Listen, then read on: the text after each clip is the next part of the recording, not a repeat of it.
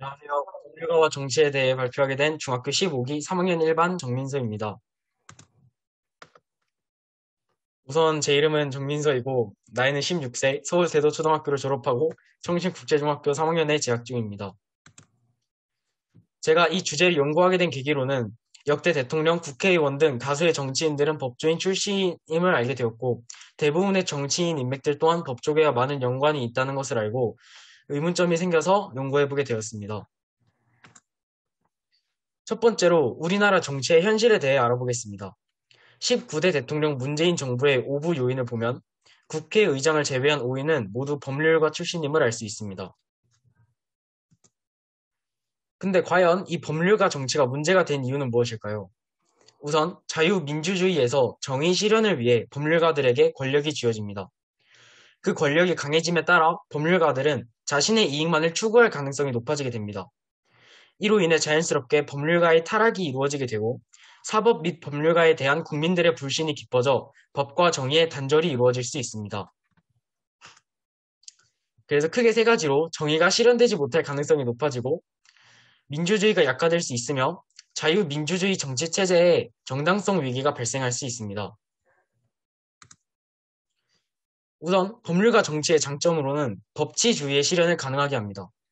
법치주의는 법이 지배하는 국가 원리, 공포된 법에 따라서 국가 권력 통제를 하고 법적 안정성을 기여하고 국민들에게 명확한 기준을 제시하고 예측 가능성을 제공합니다. 즉, 어떤 행동을 해도 되는지, 하면 안 되는지, 또 어떤 행동을 하였을 때 어떤 벌을 받게 되는지에 대한 걸 국민들이 미리 예측할 수 있습니다. 그 반대로 인치주의라는 것이 있는데 옛날 군수 정치 시절의 독재주의를 인치주의라고 합니다. 정해진 법이 아닌 특정한 한 사람에게 권력이 몰아져 자의적인 통치를 이루어지게 하는데 이로 인해서 인권 유린의 문제가 생기게 됩니다. 이 과정에서 민주주의와 사법 과정의 딜레마가 생기게 됩니다. 우선 이 국가를 이룰 때 우리나라는 민주주의 체계이기 때문에 입법부는 선거로 선출하고 행정부 또한 선거로 선출하게 됩니다. 하지만 사법부는 선거가 아닙니다. 왜 사법, 그럼 왜 사법 권력 구성을 민주주의의 다수결로 하지 않을까라는 의문점이 생길 수 있고 정말 공정하지 않다고 생각될 수 있습니다.